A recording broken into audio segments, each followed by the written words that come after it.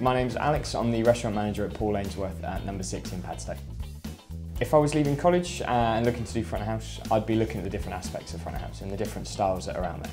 I'd be looking to try and kind of match my personality to what level of hospitality I wanted to do. Not just picking one at random, but finding what's going to work for me and my style.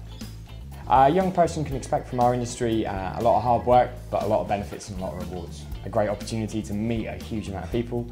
It's also a very gratifying industry as well. I mean, not every person gets to leave work at the end of the evening and everyone's gone home shaking their hand, giving them a kiss on the cheek, all those sorts of things. It doesn't happen in an office.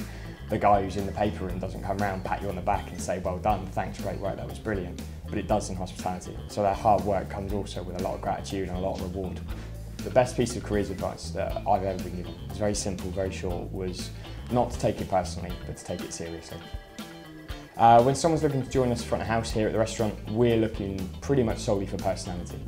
Everything else can be taught. It's how they deliver themselves to the client. It's how they come across to people and their warmth, their empathy, um, and a little bit of style in there as well. But it's, it's purely personality. Everything else can be brought to the table via training. Um, a career at Paul Ainsworth at number six um, can bring a lot to someone for their front of house and kind of you'd be able to expect a lot of training, a lot of mentoring, a lot of one-to-one -one time, um, a wonderful experience to see some stone food coming from the kitchen and working with a really, really passionate team. Um, and for the right people that are looking to develop, there are great opportunities within this small company as we grow as well.